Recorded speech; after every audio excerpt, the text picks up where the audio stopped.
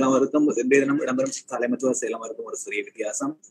நீங்கள் பரவலாக அறிந்ததை கடந்த விடம் நமது நிறுவனத்தின் பெருந்தலைவர் அமரர் திரு ராஜராஜ் மகேந்திரன் அவர்கள் காலம் சென்று காலம் சென்றிருந்தார் அவரது மறைவையொட்டி அஹ், பல்வேறு பல்வேறு அனுதாபங்களும் தெரிவிக்கப்பட்ட நிலையிலும் அது ஒரு நிரப்ப முடியாத வெற்றிடம் என்பதில் எந்தவித மாற்று கருத்தும் இல்லை. பல இடங்களிலும் இந்த மக்கள் சக்தி என்ற ஒரு விடயத்தை ஸ்தாபித்தது முதல் ஊடகம் மூலம் நாட்டை வழிநடத்தியது முதல் பல்வேறு சபைகள் அவ்வாறான ஒரு பெருந்தலைவரை இழந்தது அஹ், ஒரு மிகப்பெரிய இழப்பாகவே இந்த தருணத்தில் அஹ், நாடு முழுவதற்குமான ஒரு பெரும் இழப்பாகவே காணப்படுகிறது அஹ், ஆகவே அஹ், கடந்த செயலாளர்களை விட இந்த செயலாளர்கள் சற்று அஹ், பெருந்தலைவரமுடன் இல்லாத ஒரு நிலைப்பாட்டில் கொண்டு செல்லப்படக்கூடிய ஒரு செயலமர்வாகவே இந்த செயலமர்வு காணப்படுகின்றது. அதை ஒரு பெருந்தலைவருக்காக ஒரு அஹ், முப்பது வினாடிகள் அஹ், எமது மௌன அஞ்சலியை செலுத்திவிட்டு தொடர்ந்து நிகழ்ச்சியை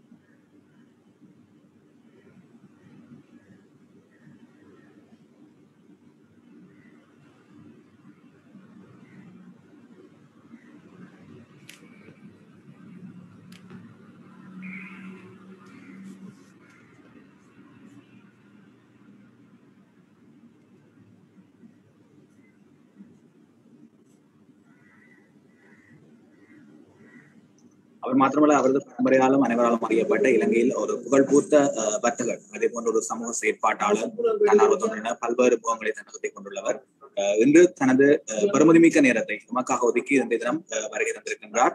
அந்த வகையில் நாங்கள் அஹ், நாங்கள் நமது அஹ், அதாவது நாங்கள் தற்போது அஹ், பிரபல தொழிலதிபரான கணேஷ் ஈஸ்வரன் தெய்வநாயகம் அவர்களை அஹ், நமது நிகழ்விற்கு வரவேற்கின்றோம். அஹ், தமது பொன்னான நேரத்தை இன்று நம்முடன் செலவழிப்பதற்காக அவர் தமது பெரும் பிரயத்தனத்துக்கு மத்தியில் இன்று வருகை தந்துள்ளார். ஆக இவருடன் நமது தொடர்புகளை ஏற்படுத்துவதற்கு நாங்கள் தயாராக இருக்கின்றோம் வணக்கம் ஐயா. வணக்கம் ஜூடின். வணக்கம் இங்கே கூடியிருக்கக்கூடிய அனைவருக்கும் என்னுடைய பணிவான வணக்கங்களை தெரிவித்துக் கொள்வதில் மிக மகிழ்ச்சி அடைகிறேன். அந்த வகையில் கணேஷ் ஈஸ்வரன் தேவநாயகம். அதாவது உங்களது உங்களது உங்களது தந்தையின் அதே போன்று உங்களது தந்தையின் தந்தையின் பேர் இவர்கள் நீங்கள் மூ மூவருமே இந்த நாட்டின் நாட்டின் நாட்டிற்கு மிகப்பெரிய சேவையாற்றியவர்கள் அதாவது வர்த்தகத்துறையிலும் சரி கலாச்சார ரீதியிலும் சரி மத ரீதியிலும் சரி தமிழுக்கும் என்று பல்வேறு துறைகளிலும் பணியாற்றியவர்கள்.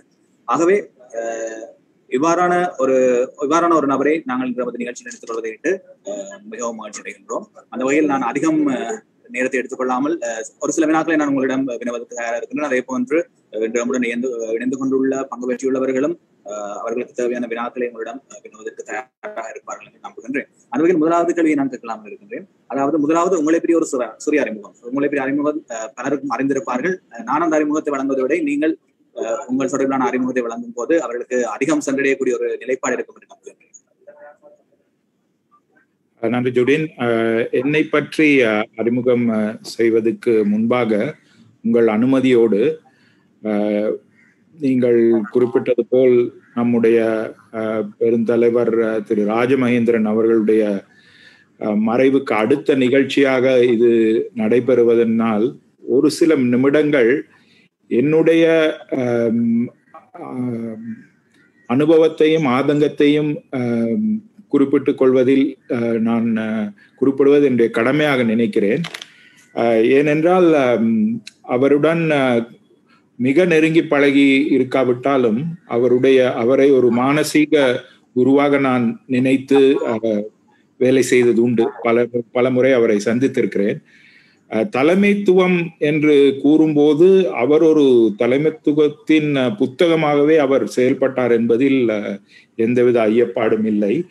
ஸோ அப்ப தலைமைத்துவத்தை பற்றிய இந்த அஹ், கருத்தரங்கு அஹ், அவருடைய அஹ், எண்ணக்கருவில் உருவாகி அவருடைய அந்த சப்போர்ட்டோட நடந்து கொண்டிருக்கக்கூடிய இந்த ஒரு கருத்தரங்கிலே அவரை பற்றி இந்த சில வினாடிகள் பேசி அதிலிருந்து நாம் எடுத்துக்கொள்ளக்கூடிய ஒரு சில படிப்பினைகளை மிகச் சுருக்கமாக ஏனென்றால் அவரை பற்றி பலரும் ப பல இடங்களிலும் பேசி வரக்கூடிய ஒரு நேரத்திலே இந்த அவருடன் தொடர்புடைய ஒரு எங்களுடைய குடும்ப நண்பராக இருந்தபடியினால் அவரை பற்றி ஒரு சில கருத்துக்களை முன்வைத்து அதற்கு பிறகு மற்ற விஷயங்களுக்கு போகலாம் என்று நினைக்கிறேன் உங்கள் அனுமதியோடு.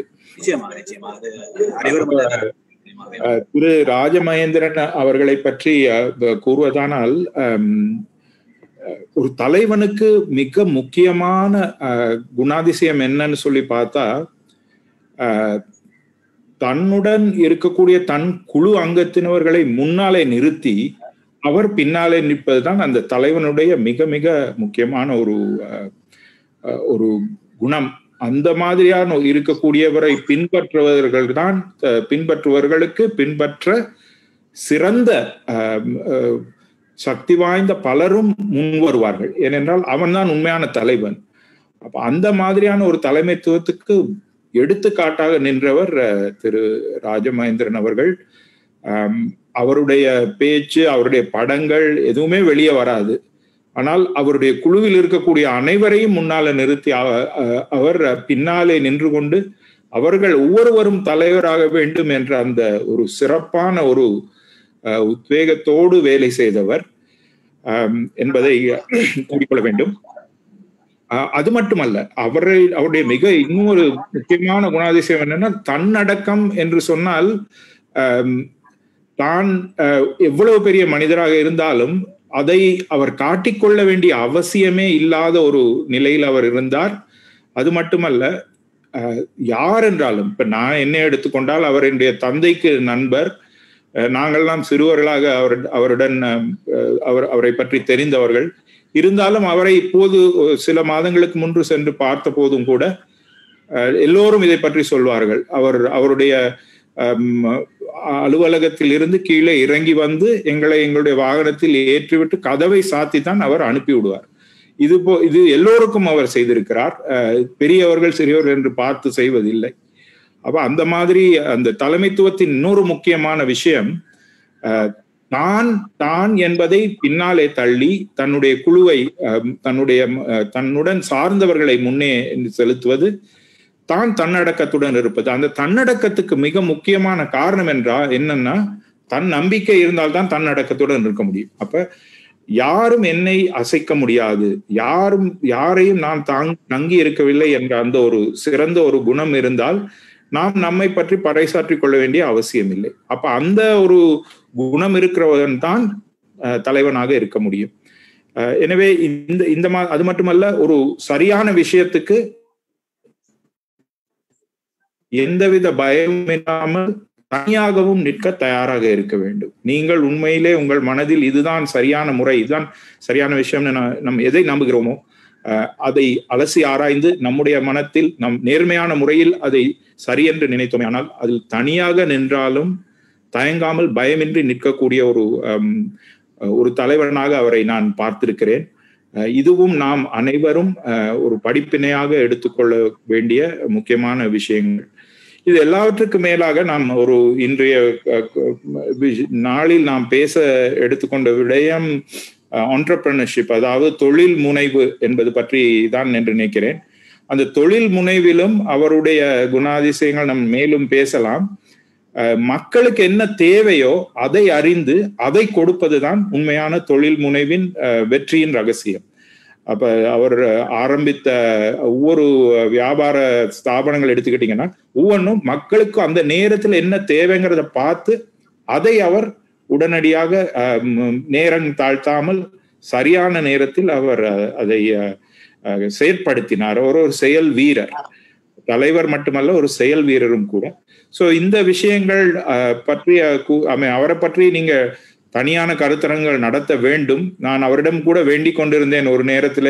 ஐயா உங்களை பத்தின ஒரு புத்தகமோ உங்களை பற்றிய ஒரு ஒரு வீடியோ நான் ஒரு ஒரு ப்ரோக்ராமே நீங்க போடணும் போட்டா மக்களுக்கு அது அடையும் என்று அவர் அதை பற்றி சட்டை செய்யவில்லை ஏன்னா தன்னை முன்படு முன்னிலைப்படுத்த என்றுமே அவர் விரும்பியதில்லை.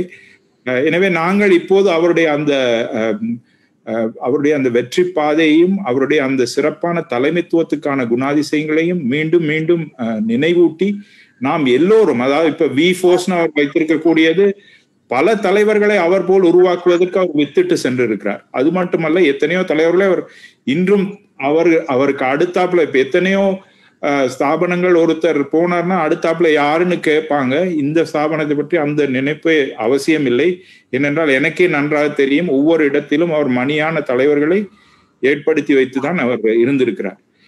எனவே இத்தகைய ஒரு சிறப்பான தலைவனை நாம் எழுந்து நிற்கக்கூடிய இந்த நேரத்திலே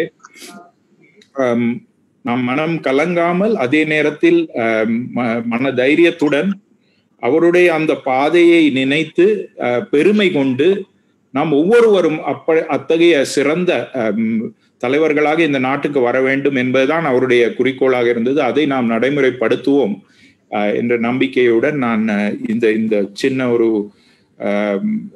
நேரத்தை செலவழிக்க விரும்பினேன். மிக்க நன்றி. அதற்கு நீங்க வாய்ப்பு கொடுத்து இந்த மாதிரி ஒரு அவருக்கு ஒரு அர்ப்பணிப்பை செய்வதற்கு எனக்கு ஆண்டவனாக கொடுத்த ஒரு வரப்பிரசாதம் இன்னைக்குன்னு தான் நான் நினைக்கிறேன். மிக்க நன்றி. போல அவருக்கு தொடர்பில் பேசுவதற்கான அந்த சந்தர்ப்பத்தை ஏற்படுத்தி கொடுக்கக்கூடிய அந்த வாய்ப்பு எனக்கு கிடைத்ததுக்கு நானும் உங்களுக்கு அந்த நன்றியை தெரிவித்துக்கிறேன் நான் பார்த்துக்கிறேன். அவரோட உங்களோட பெருந்தலைவரோட மேசையில எப்பவுமே இந்த வசனம் இருக்கு. Lead me follow me or get out my way நீங்களும் அவதானிச்சிருப்பேன் நினைக்கிறேன். எப்பயுமே ஒரு தூர நோக்கான உங்க சொன்ன மாதிரி எதுக்குமே பயம் எதுக்குமே பயம்ன்றது அவரது இல்லை. அதே மாதிரி எல்லாரையுமே ஒரே பார்வையில பார்ப்பேன் இன்றைக்கும் இந்த மக்கள் சக்தி திட்டத்தின் மூலம் பல்வேறு இடங்களையும் எவ்வளவு எவ்வளவு விடயங்கள் அவர் செய்தாலும் அவர் தன்னை பிரபலப்படுத்தினதும் இல்லை பிரபலப்படுத்த விரும்பினதும் இல்லை. மற்றவர்களை அவரை பிரபலப்படுத்ததை அவர் ஏற்றுக்கொண்டதும் இல்லை. என்றும் எத்தனையோ மக்கள் மக்கள் சக்தி மூலம் குடிநீரை பெறுவதற்கும் பல்வேறு வாழ்வாரத்தை கொண்டு செல்வதற்குமான பெற பெரும் உதவிகளை இருக்கு நான் நீங்க சொன்ன மாதிரி அது தனியா நிகழ்ச்சி செய்தால் கூட அது நேரம் போதாது. நன்றி ஐயா. அதே மாதிரி நாங்கள் நிகழ்ச்சியில கடந்து செல்வோம். அந்த வகையில திரு கணேஷ் ஈஸ்வரன் தெய்வநாயம் அவர்கள். நாம் ஏற்கனவே குறிப்பிட்டது போல இலங்கை வரலாற்றில் மிகவும் முக்கியத்துவம் வாய்ந்த ஒரு உறுப்பினராகவும் அதே போன்று முக்கியத்துவம் வாய்ந்த ஒரு குடும்பமாகவும் உங்களோட குடும்பம் காணப்படுகிறது உங்களது தந்தையின் தந்தை முதல் தந்தை முதல் நீங்கள் இவ்வாறு பல்வேறுபட்ட பயண கோட்பாடை கொண்டுள்ளீர்கள் எனக்கு முதலாவது ஒரு கேள்வி அதாவது நீங்கள் தற்போது உங்களது குடும்ப வியாபாரம் தொடர்பில் வந்து பிரசித்தி பெற்றிருக்கீங்க. அதாவது ஈஸ்வரம் பிரதேசம் நிறுவனத்தின் மூலம். பல்வேறு விடயதானங்கள் முக்கியமா குறிப்பிடமான தேயிலை ஏற்றுமை தொடர்பில் நீங்க இலங்கையில் ஒரு முக்கியத்துவம் பெற்ற ஒரு நிறுவனமாக காணப்படுகிறீங்க அது அதாவது உங்களோட நான் நான் அறிந்த வகையில உங்களது தாத்தா திரு வேதநாய தெய்வநாயம் ஐயா அவர்கள் தனது பதினோராவது வயதுல மிகவும் கஷ்டப்பட்டு இந்த தொழிலை தொடங்கினார் நான் கேள்விப்பட்டிருக்கேன் பல்வேறு தூரம் அவர் கால்நடையாக நடந்து சென்று அதே போன்று பல்வேறு இன்னல்களுக்கு மத்தியில சிரமங்களுக்கு மத்தியில இந்த வியாபாரத்தை வளர்த்தெடுத்து அதன் பின்னர் உங்களோட தந்தை அதே போல நீங்க. இவ்வாறு உங்களது குடும்ப உறுப்பினர்கள் மூலமா இந்த வியாபாரம் வந்து ஸ்தாபிக்கப்பட்டு நிறுவப்பட்டு வியாபித்து சென்று கொண்டிருக்கிறது. ஆனா உங்களுக்கு அந்த வகையில உங்களுக்கு ஒரு உங்களுக்கு ஒரு மனதுல ஒரு நீங்க உங்களோட பட்டப்படிப்பு நீங்க ஒரு செய்யும்போது அமெரிக்காவில நீங்க படிச்சிருக்கிறீங்க. இந்தியாவில படிச்சிருக்கிறீங்க. உங்களோட நினைக்கிறேன் இளங்கலை மாணி பட்டத்தை இந்தியாவிலையும் முதுகலை மாணி எம்பிஏ பட்டத்தை நீங்க அமெரிக்காவிலையும் படிச்சிருக்கீங்க உங்களுக்கு இந்த தொழிலை செய்யணும் என்ற ஈர்ப்பு எவ்வாறு வந்தது? அல்லது உங்களுக்கு உங்களா நீங்களா ஒரு விடயத்தை உருவாக்கி கொண்டு செல்லணும் என்ற எதிர்பார்ப்பு எதுவும் இருந்ததா? அல்லது இந்த இந்த தொழிலை செய்வதற்கு உங்களுக்கு அழுத்தம் என்று பிரயோகிக்கப்பட்டதா அல்லது நீங்க விரும்பி இந்த தொழிலுக்குள்ள வந்தீங்களா? அது தொடர்புல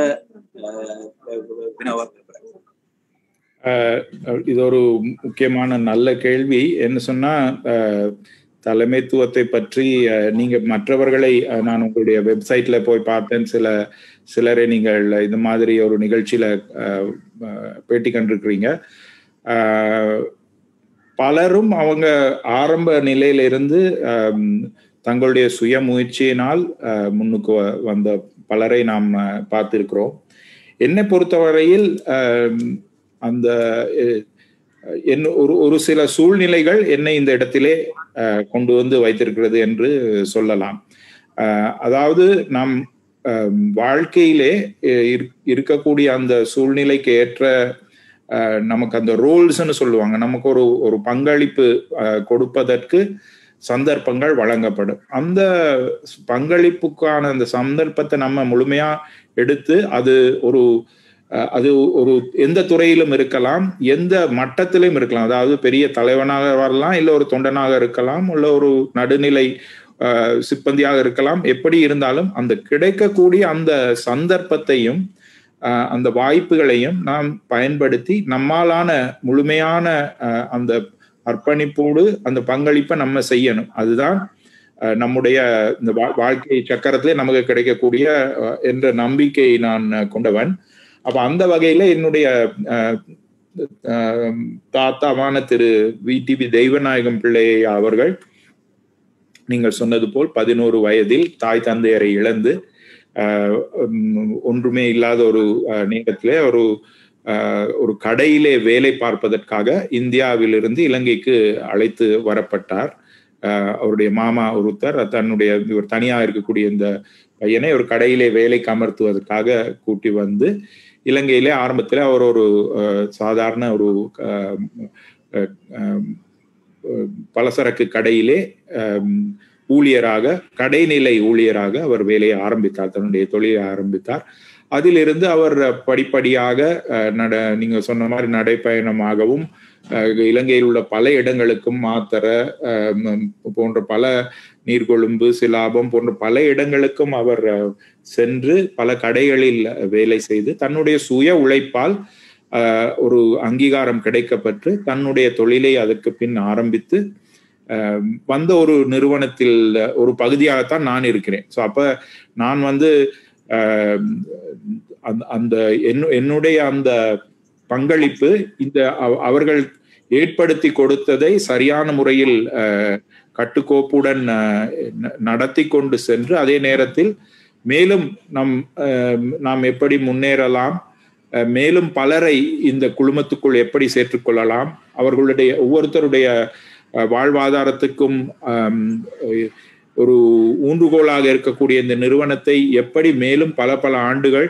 அஹ், எப்படி திரு ராஜமகேந்திரன் அவர்களுடைய நிறுவனத்தை ஏற்படுத்தி இருக்கிறாரோ அதில் அதை விட ஒரு சிறிய அளவில் நாங்களும் அதை எடுத்து செல்ல வேண்டும் என்ற அந்த ஒரு ஒரே நோக்கத்தில் தான் நான் நான் இந்த இடத்திலே இருக்கிறேன்.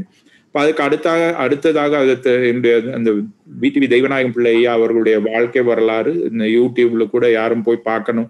தலைமைத்துவம் பற்றி படிக்க வேண்டும் தெரிந்து கொள்ள வேண்டும் என்று நினைப்பவர்கள் அதை பார்க்கலாம். இதோ ஒரு வெளிச்சம் என்ற அந்த பேர்ல அந்த இந்த அந்த ஒரு முப்பது வினாடிகளான அவருடைய வாழ்க்கை வரலாறு இருக்குது. அதை யாரும் பார்க்கலாம்.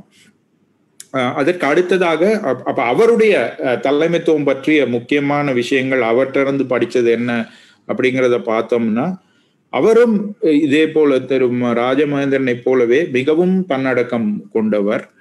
அஹ், ஒரு சிறியவராக இருக்கட்டும் பெரியவராக இருக்கட்டும் யாரா இருந்தாலும் அவர்களுக்கு அந்த இடத்திலே கொடுக்க வேண்டிய மரியாதையை தயங்காமல் கொடுப்பவர். நாம் ஒரு புன்முறுவல் பூர்ப்பதன் மூலம் ஒரு ஒருவர் நீங்க எப்படி இருக்கிறீங்க? சுகமா இருக்கிறீங்களா ஐயா? அப்படின்னு நம்ம கேட்பதன் மூலம் ஒவ்வொருத்தருடைய வாழ்க்கையிலும் அந்த நிம்- வினாடியில் ஒரு நல்லெண்ணத்தை ஏற்படுத்துவோமே ஆனால் இந்த உலகம் நிச்சயமாக இடத்துக்கு செல்லும்.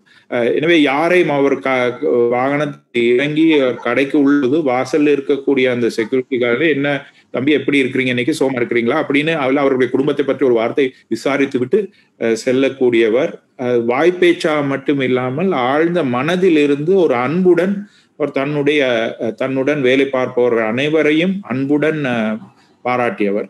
இப்ப அது அவருடைய ஒரு முக்கியமான ஒரு தன்மையாக இருந்தது. அதுக்கு அடுத்தது வந்து எதற்கும் கோவப்பட மாட்டார். கோவத்தை அவர் காட்டிக்கொள்ள மாட்டார் என்றே சொல்ல வேண்டும்.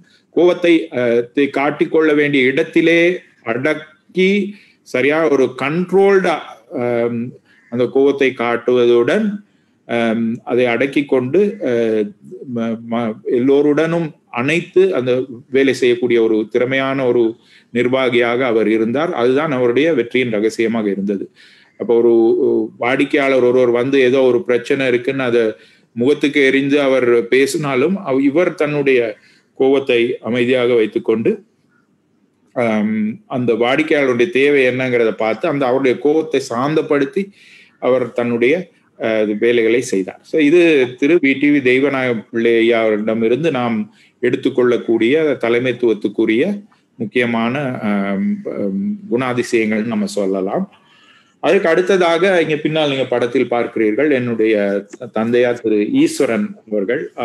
அவரும் நாட்டுக்கு ப- பல விதத்திலும் அஹ், சமூக சேவையிலும் பங்களித்தவர். ஆன்மீக ரீதியிலும் மிக மிக சிறந்த சேவை ஆற்றியவர் அதுபோல் தொழில் ரீதியாகவும் எங்களுடைய இந்த நிறுவனத்தை இந்த இந்த நிலைக்கு ஒரு நல்ல நிலைக்கு கொண்டு வந்தவர் ஈஸ்வரன் சகோதரர்கள் ஈஸ்வரன் பிரதர்ஸ் என்ற பெயரிலே அப்ப அவருடைய முக்கியமான குணாதிசயங்கள் என்ன? அதுல இருந்து என்ன படிக்கலாம்னு பார்த்தோம்னா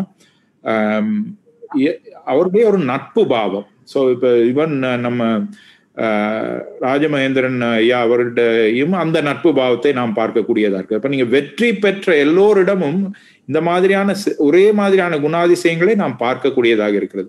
அப்ப இந்த குணாதிசயங்களை பார்த்து நாம் கவனித்து அதை நமக்குரியதாக ஆக்கி கொண்டு நாம் செயல்படும் போது தானாக அந்த வெற்றி பாதையில் நாம் நடக்கிறதுக்கு வாய்ப்பு கூட. அப்ப அந்த நட்பு பாவம்ங்கிறது எல்லோரோடமும் ஒரு இலகுவாக பேசுவது யாரையும் ஒரு எதிரியை பார்த்தாலும் அந்த நட்பு உள்ள இருந்து முதல்ல வரணும். அந்த மாதிரியான ஒரு நட்பு பாவம் மிக மிக அவசியம். ஏனென்றால் நமக்கு தேவை நம்முடைய வாழ்க்கைக்கான வெற்றி. ஒருத்தனுக்கு மேல நான் பெருசுன்னு காட்டுவதல்ல நம்முடைய முக்கிய முக்கியமான நோக்கம். இல்ல நான் கோவப்பட்டேன் நான் அவனை போட்டு வாங்கிட்டேன் அப்படின்னு பெருமைப்படுறதுக்கு அல்ல நம்முடைய நோக்கம். ஒவ்வொரு சந்தர்ப்பத்திலும் நமக்கு என்ன தேவையோ அந்த வேலையை எப்படி செய்து கொள்வது என்பதுதான் நோக்கம். இப்ப நீங்க ஒரு கவர்மெண்ட் ஆஃபீஸ்க்கு போறீங்க. போற இடத்துல உங்களுடைய அப்ளிகேஷனை ஒரு காரணம் இல்லாம அவன் ரிஜெக்ட் பண்ணிட்டான்.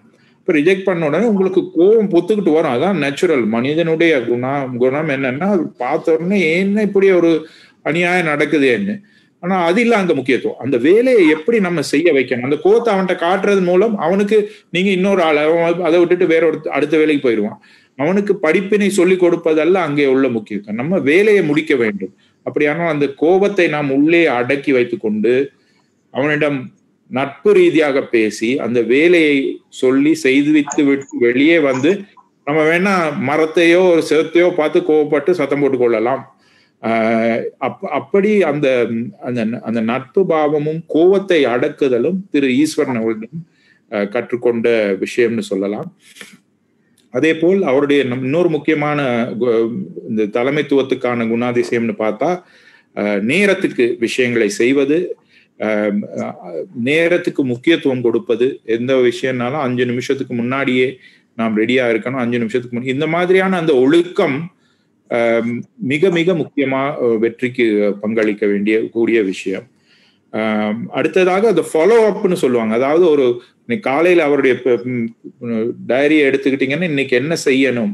நேற்று செய்தது என்ன இன்னைக்கு செய்ய வேண்டியது என்ன? சின்ன சின்ன விஷயங்கள்னாலும் அதை குறித்து வைத்து ஒருத்தர் ஒன்று கேட்டிருந்தா அவங்களுக்கு உடனடியாக சரியான முறையில் பதில் சொல்லி மாதிரி சிறிய சிறிய விஷயங்கள் ஒரு பெரு வெள்ளமாக வந்து உங்களுடைய வாழ்க்கையின் வெற்றியை நிர்ணயிக்குங்கிறதுல எந்த சந்தேகமும் இல்லை. இதை பல தலைவர்களிடம் பல வெற்றியாளர்களிடம் நம்ம பார்க்கக்கூடிய விஷயங்கள்னே நான் சொல்லுவேன். அதே போல் இன்னும் ஒரு மிக முக்கியமானது நாம் தனிப்பட்ட முறையில் வெற்றியை இலகுவாக சம்பா ஒரு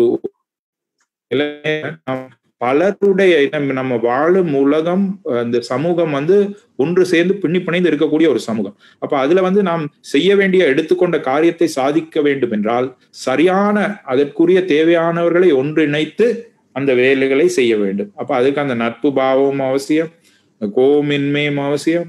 அதே நேரத்திலே எல்லோரையும் ஒன்று சேர்ப்பது மிக மிக அவசியம். சரி ஈஸ்வரனை எடுத்துக்கிட்டீங்கன்னா பல காரியங்கள் அவர் ஒரு பெரிய ஒரு புத்தர் சிலையை கட்டுவதில் அவர் பெரும் பங்களித்திருந்தார் அறுபத்தி ஏழு அடி உயரமான கருங்கல் புத்தர் சிலை எண்ணூறு வருடங்களுக்கு பிறகு இலங்கையில் ஏற்படுத்தப்பட்டது.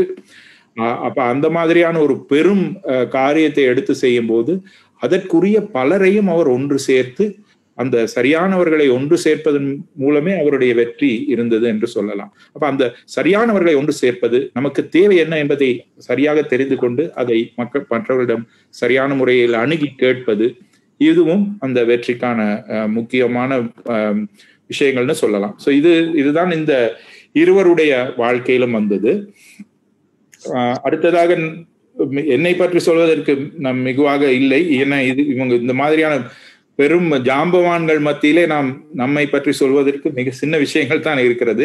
அப்ப என்னுடைய தனிப்பட்ட முறையிலே நான் படித்து முடிக்கும் போது இந்த மாதிரி ஒரு ஒரு தொழில் மூன்றாவது தலைமுறை ஒரு தொழில் செய்யும் குடும்பத்திலே பிறந்ததனால் அதற்குள் தான் போக வேண்டும் என்ற அந்த ஒரு ஒரு அன்- ஒரு எதிர்பார்ப்பு எனக்கும் இருந்தது எல்லோருக்கும் இருந்ததுன்னு தான் சொல்லலாம். அப்ப அப்படி இருந்த பட்சத்துல அப்ப இருந்தாலும் எனக்கு ஒரு எண்ணக்கோடு இருந்தது. அஹ், நம்முடைய தொழிலை மட்டும் நாம் பார்ப்பதை விட மற்ற நிறுவனங்களுக்குள் சென்று அங்கே தொழில்கள் எப்படி நடக்கிறது அதற்கு நம்முடைய யுக்திகளை எப்படி நாம் அவங்க எப்படி கையாளுறாங்கிறது படிச்சுக்கொள்ற அதே நேரத்திலே நாம் தொழில் முனைவை பற்றி படிப்பதை எப்படி அவருடன் பகிர்ந்து கொள்வது இது போன்ற சில விருப்பங்கள் இருந்தன. அது எனக்கு உடனடியாக நிறைவேறவில்லை. என்னால் படித்து முடித்தவுடன் இந்த தொழில் இதை பார்க்கலாம் என்று நான் குடும்ப என் கு- குடும்ப தொழிலுக்குள் நுழைந்து விட்டேன். இருந்தாலும் கிட்டத்தட்ட ஒரு பன்னெண்டு வருடங்கள் கழித்து ஒரு வாய்ப்பு கிடைத்தது. எனக்கு வெளிநாடு சென்று தனியாக புதியதாக ஒரு வாழ்க்கையை ஆரம்பிப்பதற்கு ஒரு ஒரு வாய்ப்பு கிடைத்தது. அப்போ ஒரு வெளி யூகேக்கு செல்லக்கூடிய வாய்ப்பு கிடைத்தது. என்னுடைய மனைவிக்கு ஒரு அவளுடைய படிப்புக்காக அங்கே செல்ல வேண்டிய காரணம் ம- வந்ததனால் எனக்கும் இங்கே ஒரு லீவ் எடுக்கக்கூடிய வாய்ப்பு இருந்தனால் நான் அங்கே சென்று கிட்டத்தட்ட பத்து வருடங்கள் அங்கே வாழ்க்கையை மீண்டும் ஆரம்பிக்கக்கூடிய ஒரு ஒரு கட்டம் இருந்த நேரத்திலே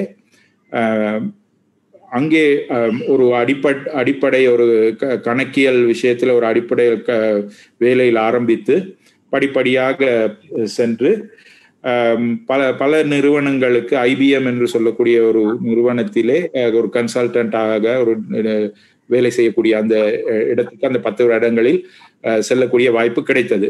அப்ப ஆமா. அதுக்கப்புறம் நான் என்னுடைய தந்தையாரின் உடல்நிலை குறைவின் காரணமாக மீண்டும் இலங்கைக்கு திரும்பி எங்களுடைய இந்த தேயிலை மற்றும் சார்ந்த தொழில்களில் பங்களிப்பு செய்து கொண்டு இருக்கிறேன். ஆஹ் இவ்வாறு. அதாவது சீனியர் மேனேஜ்மெண்ட் கன்சல்ட் கன்சல்டிங் பொசிஷன்ல லேண்டர்ல இருந்துக்கிறீங்க அதே போல head of finance national health service யூகேல இருந்துக்கிறீங்க அதை விட டி எக்ஸ்போர்ட் பொசிஷன் வைஸ் பிரசிடண்டாகவும் இருக்கிறீங்க. இவ்வாறு பல்வேறு தொழில்துறையிலையும் இருந்துட்டு திடீரென்று ஆஹ் உங்களது அதாவது உங்களது தந்தையின் பின்னர் இந்த வியாபாரத்தை கொண்டு செல்ல நீங்க எதிர்நோக்கும் போது உங்களுக்கு நீங்க உங்களோட சவால்கள் பாருங்க ஆஹ் அதாவது முதல்ல உங்களுக்கு தந்தை உங்களுக்கு பக்கபலமா இருந்தார். இப்ப நீங்க அந்த பக்கபலம் இல்லாம நீங்க செயற்பட வேண்டிய அவரோட ஆசீர்வாதத்தோட அவர் பக்கபலம் இல்லாம செயற்பட வேண்டிய உதவி அவர் நீங்க அந்த வியாபாரத்தை நீங்க கை கொண்டு முன்கொண்டு செல்லும் போது உங்களுக்கு ஏற்பட்ட உங்களோட மனநிலை அப்படி இருந்துச்சு? அந்த நேரத்தில் உங்களோட தலைமைத்துவ பண்புகள் எவ்வாறு செயற்படும் இது வந்து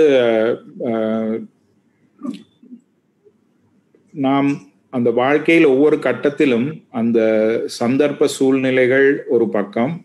நம்முடைய மனம் மனோபாவம் எப்படி இருக்குங்கிறது அஹ், இன்னொரு பக்கம். இது ரெண்டும் சேர்ந்துதான் நாம் வாழ்க்கைக்கு எப்படி முகம் கொடுக்கிறோங்கிறது நிர்ணயமாகும். அஹ், அந்த ம- நான் முதல்லயே சொன்னதன்படி அந்த நம்முடைய மனோபாவத்தை நாம் சரியான முறையில் வைத்து கொண்டால், நம்முடைய அந்த உள்ளே இருக்கக்கூடிய அந்த தன்னம்பிக்கையை சரியான நிலை வைத்திருக்கோமானால் வாழ்க்கை நம்மிடம் வீசி எறியக்கூடிய அந்த பிரச்சனைகளை நாம் ஓரளவு முகம் கொடுக்கக்கூடியதாக இருக்கும். ஆஹ், அதுபோல் இங்கே நாம் நான் இந்த தொழிலே மீண்டும் வந்து சேரும்போது ஆஹ், ஏற்கனவே இருக்கக்கூடிய பல அஹ், இந்த தொழிலே பெரிய அளவு அஹ், அனுபவசாலிகள் இருக்கிறார்கள். இந்த தொழில் இங்கே இந்த நிறுவனத்திலே அஹ், என்னை விட அதிகமான அஹ், ஆண்டுகள் சேவை புரிந்தவர்கள் இருக்கிறார்கள். என்னை விட அதிகமாக நேசிக்கக்கூடியவர்கள் தொழிலை நேசிக்கக்கூடியவர்களும் இருக்கிறார்கள். அப்ப அவர்கள் யார் யார் என்ன என்றதை புரிந்து கொண்டு அவர்கள் உடன் நானும் அஹ், தோளோடு தோள் நின்று அஹ், கை கொடுத்து இந்த நிறுவனத்தின் வெற்றியே முக்கியம்.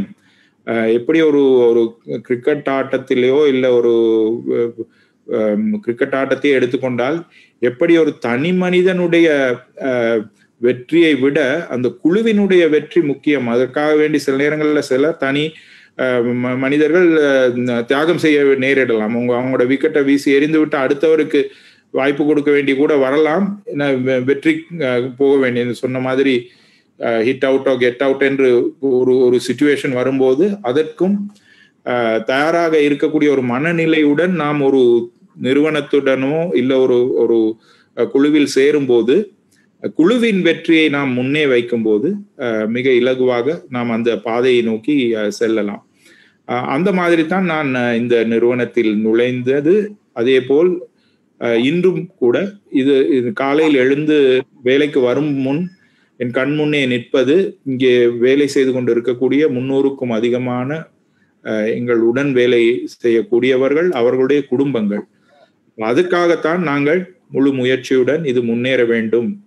பலரும் ஏனென்றால் நான் எப்படி மூணாவது தலைமுறையாக இங்கே வேலை செய்கிறேனோ அதே போல் மூணாவது தலைமுறையாக வேறு சிலரும் கூட வேலை செய்து கொண்டிருக்கிறார்கள். ஏனென்றால் இந்த நிறுவனத்தின் கட்டுக்கோப்பு அப்படி அந்த எங்களுடைய திரு V. D. V. Deivanayagam Pillai என்னுடைய தந்தையார் ஈஸ்வரன் அவர்களுடைய அந்த எண்ணக்கரு அப்படித்தான் இருந்தது. எல்லோரையும் ஒன்று சேர்த்து செய்ய வேண்டும் என்பது அன்பை முக் அன்புக்கு முக்கியத்துவம் கொடுத்து வேலை செய்து ஸோ அப்ப அதே நிறைய அந்த வழி வந்து விஷயங்கள் இருக்கிறதுனால இலகுவாக இதிலே அந்த லீடர்ஷிப் ரோல் என்று சொன்னா சொன்னதுக்கு என்ன பலருடன் ஒன்று சேர்ந்து வேலை செய்யக்கூடிய அந்த ஒரு வாய்ப்பு இருக்கிறதுனால் இது இலகுவாக முகம் கொடுக்கக்கூடியதாக இருந்தது. உண்மைதான். ஆங்கிலத்தில் ஒரு படமொழி என்று சொல்லுவாங்க.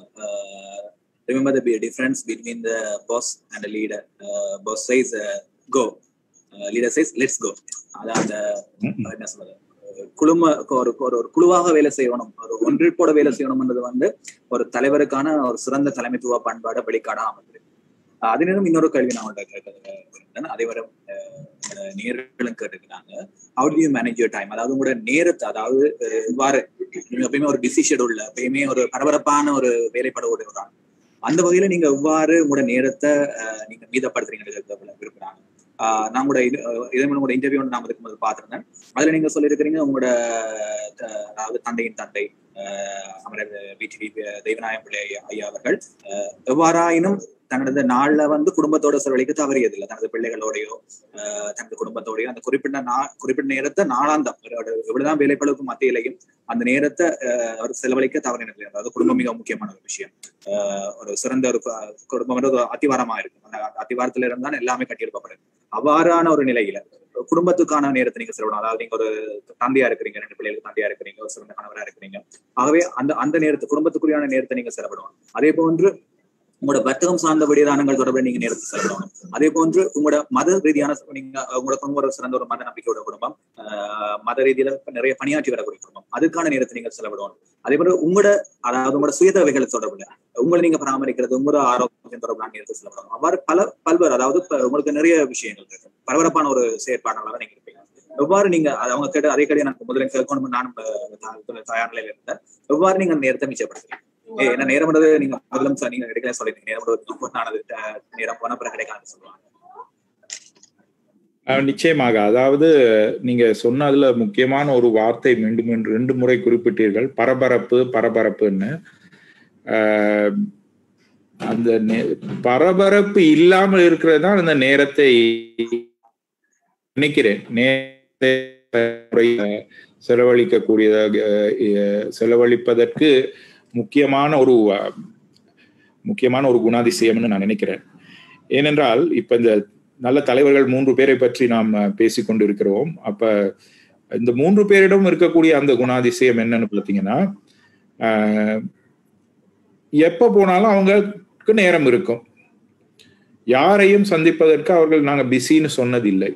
திரு ராஜமகேந்திரனா இருக்கட்டும் இன்றைய தந்தையாராக இருக்கட்டும் என்னுடைய தந்தையாருக்கு நாங்கள் தெரியாத ஒரு ஒரு பன்னிரெண்டாம் வகுப்பு படிக்கக்கூடிய ஒரு பையன் மலையகத்துல இருந்து ஃபோன் பண்ணுவாரு. ஃபோன் பண்ணி தன்னுடைய ஒரு பிரச்சனையை சொல்வார். அதற்கும் அவர் நேரம் கொடுத்தார். அப்ப ஒரு ஒரு பெரிய ஒரு கம்பெனியிட நான் சில நேரம் நானே யோசிப்பேன் நீங்க இதுக்கு பதினஞ்சு நிமிஷம் செலவழிக்கிறீங்களே அப்பா இது சில நேரம் இது சரிதானா? அப்படின்னு.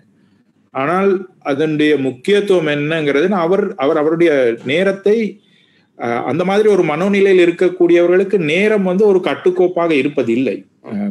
இப்ப நேரத்தை சரியான முறையில் ஒழுக்கமான முறையில் நாம் அணுகுவேமே ஆனால் நேரம் ஒரு பிரச்சனையாக யாருக்கும் இருக்காது.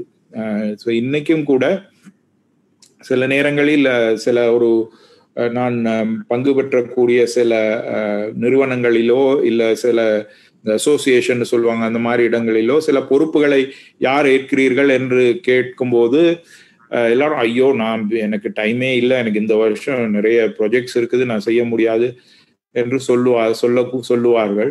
இருந்தாலும் எனக்கு அது அப்படி சொல்ல வேண்டிய அவசியம் தோணாது. ஏன்னா இன்னும் கூட நாம் நம்முடைய நேரத்தை சரியான முறையில் செலவழித்தமையானால் இதை விட அதிகமாக நம்முடைய பங்களிப்பை நாட்டுக்கோ மக்களுக்கோ குடும்பத்துக்கோ செய்ய முடியும்னு நினைக்கக்கூடிய ஒரு எண்ணம் இருக்கிறது. அப்ப அதற்கு முக்கியமான காரணம் என்ன என்னன்னா அந்த பரபரப்பின்மை ஒன்று.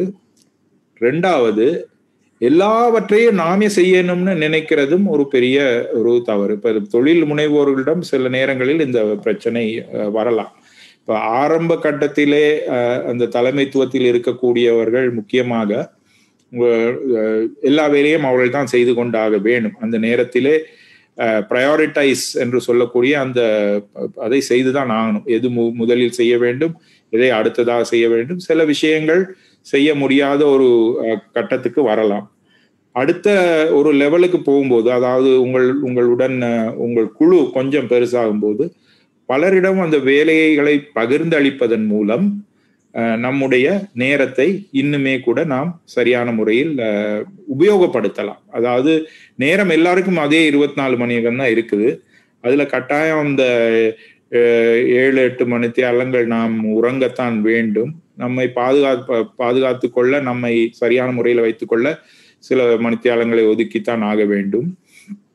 அது போக இருக்கக்கூடிய அந்த நேரத்தை நாம் செய்யும் அந்த காரியத்தில் உண்மையிலேயே ஒரு சந்தோஷத்துடன் செய்யும் போது இந்த நேரம் எப்படி போகுதுன்னே தெரியலப்பான்னு சொல்லுவாங்க இல்லையா? அது மாதிரி அந்த அதுல எவ்வளவு தூரம் நமக்கு இன்ட்ரெஸ்ட் இருக்குது நம்ம செய்யறதுங்களான்னு பார்த்தோம்னா நேரம் எப்படியாவது கிடைத்து விடும் இது ஒரு ஒரு கருத்து.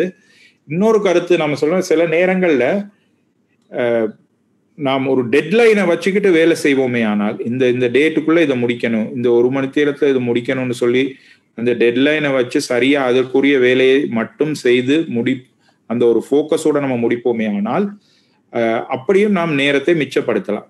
இன்னும் ஒரு ஆங்கிலத்திலேயே சொல்லுவார்கள் அதாவது work expands to the time that is available அதாவது உங்களுக்கு பத்து நாள் இருக்குது இதை முடிக்கிறதுக்கு இந்த காரியத்தை முடிக்கிறதுக்குன்னா எப்படியாவது அந்த வேலை பத்து நாள் இழுத்துரும்.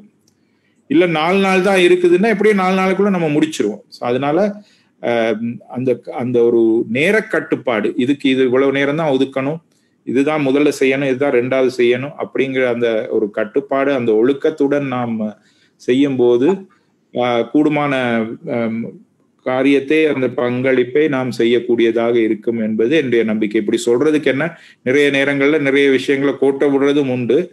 அப்ப அது அது வந்து அதையும் மீறி நாம் எப்படி வெற்றி பாதையில் என்ன நூற்றுக்கு நூறு செய்த தொட்டதெல்லாம் பொண்ணானதா யாருக்கும் கிடையாது. அப்ப நீங்க பத்து விஷயங்கள் செய்யும் போது ஒன்னு ரெண்டு அதுல கொஞ்சம் உங்களுடைய கவனம் குறைவானால் பிரச்சனை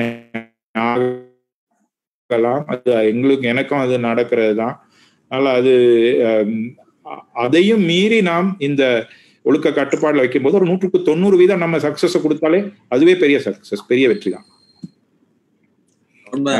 கருவியும் செய்கையும் செய்யும் அறிவினையும் வச்சுன்னு சொல்லுவாங்க. அதாவது நேரம் மட்டுமே ஒரு பொன்னான விடயம். நீங்க சொன்ன மாதிரி அதாவது நேரத்தை வகுக்கிறது எங்கட கையில இருக்கு. டிபெண்ட்ஸ் சொல்லுவாங்க. நாங்க தான் அதை வகுத்துக்கிறதுக்கான அந்த விடயம் அதே போல நீங்க சொன்ன ஒரு கருத்து மூலம் எனக்கு ஞாபகம் அதாவது உங்களோட தந்தையார் மதிப்புரிய ஈஸ்வரன் ஐயா அவர்கள் அதாவது ஒரு பன்னிரெண்டாம் வகுப்பு மாணவன் தொலைபேசி அழைப்படுத்தாலும் அவருக்கான பதிலை சொல்லி கொடுத்தா நல்ல நகர்வாங்க உண்மை. அதாவது இந்த இந்த சந்தர்ப்பம் நான் ஆத்மார்த்தமாக கூற விரும்புகிறேன். பிடிபி ஃபவுண்டேஷன் ஊடாக கல்வி நடவடிக்கைகளுக்கு பல்வேறு மாணவர்கள் பயனடைஞ்சிருக்கிறாங்க. அதுல நானும் ஒரு நான் அதுல நானும் ஒரு மாணவன். நான் கல்வி கேட்ட போது எனது சாதாரண தரம் உயர்றதுக்கான இந்த கல்வி செலவுகளை அதாவது தனியார் வகுப்புக்கான கல்வி செலவுகளையும் பிடி ஃபவுண்டேஷன் ஊடாக உங்களது தந்தையின் மூலமே பெற்றுக்கொண்டு தான் நான் இந்த கல்வியை தொடர்ந்திருந்தேன் அதை நான் ஆத்மாசமாக குறிப்பிட விரும்புகிறேன். அவரிடம் மகன மகனோட கலந்துரையாட கிடைத்த எனக்கு மேல ஒரு பெரிய ஒரு சந்தர்ப்பம். அவ்வாறு பல மாணவர்கள் அதாவது இலங்கையில் நான் மட்டுமல்ல இவ்வாறு விடிஏ ஃபவுண்டேஷனோடாக பயனடைந்த மாணவர்கள் பலர் இருக்கிறார்கள்.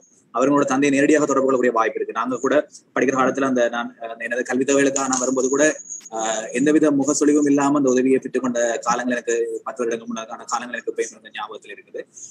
அவ்வாறான ஒரு சமூக செயற்பாடு அதாவது ஒரு சமூகத்துக்கு சமூக அக்கறை வியாபாரம் என்று வரும்போது ஆஹ், அதாவது நமது நிறுவன நிறுவன ஆஹ், பெருமதிப்புக்குரிய திரு ராஜராஜ் மகன் ஐயா அவர்கள் அவர் எவ்வளவு சமூக நல அக்கறை கொண்டிருந்தாரோ அதே போலான ஒரு சமூக நல அக்கறை மூலம் எத்தனையோ மாணவர்கள் படிச்சிருக்கிறாங்க. இன்னும் பல்வேறு இடங்கள் இருக்கிறாங்களே. பல்வேறு உயர்நிலைகள் இருக்கிறாங்க பல்வேறு பதவிகள் இருக்கிறாங்க. அவ்வாறான ஒரு சமூக அக்கறை வந்து உங்களோட தந்தை உங்களோட த- உங்களோட தாத்தா தந்தை மூலம் உங்களிடம் வந்திருக்கு அந்த சமூக அக்கறை வந்து ஒரு சிறந்த தலைமைத்துவ பணி அந்த சமூக அக்கறை சமூக அக்கறையில உங்களுக்கு ஆதிக்கம் செலுத்தக்கூடிய விடயங்களா என்ன இருக்கு? அந்த சமூக அக்கறை வர்றதுக்கான இது காரணம் ஏதாவது இருக்கா? அல்ல அந்த சமூக அக்கறை உங்களுக்கு வர்றதுக்கான நீங்க யாரை பின்பற்றி இருக்கிறீங்களா? அல்லது உங்களோட தந்தையின் பிற்பாடா? அல்லது அது எவ்வாறான ஒரு நிலைப்பாடுல இருக்கு? அதாவது ஒரு நம்முடைய நம்முடைய நோக்கம் எவ்வளவு தூரம் பெரியதாக இருக்கிறதோ அந்த அளவுக்கு தான் நம்முடைய வாழ்க்கையின்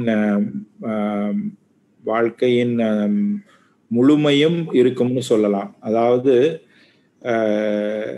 you aim for the star at least you will get the மூன்னு சொல்லுவாங்க.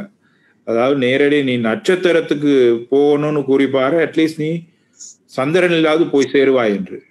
அப்ப நம்முடைய மனநிலையை நாம் எவ்வளவுக்கு எவ்வளவு விசாலமாக விரிவாக வைத்திருக்கிறோமோ அந்த அளவுக்கு நம்முடைய வாழ்க்கையும் அமையும் அப்படிங்கிறதுக்கு பல உதாரணங்கள் இருக்கின்றன. அப்போ அப்ப